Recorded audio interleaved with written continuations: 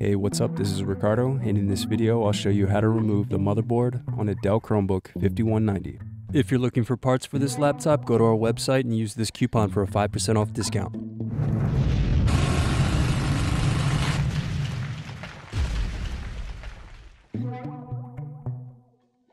First unscrew, then use fingers to pry apart bottom base.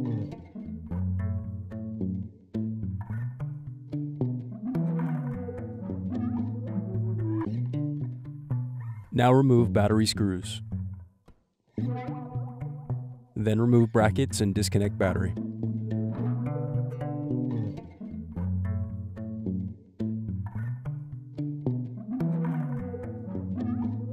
Then unscrew and remove bracket. Then disconnect and remove wireless card.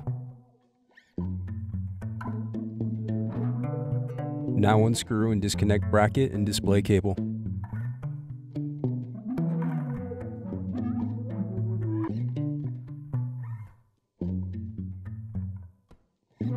Then unscrew and remove bracket.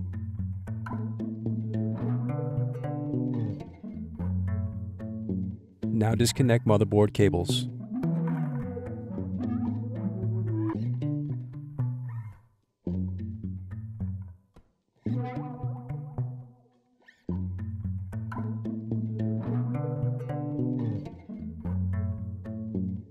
Next unscrew and remove bracket.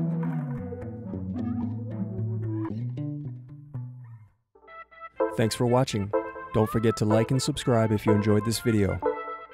And if you need more, check out this playlist to watch other tutorials for your laptop. You can also click here to find parts for your laptop at partspeople.com.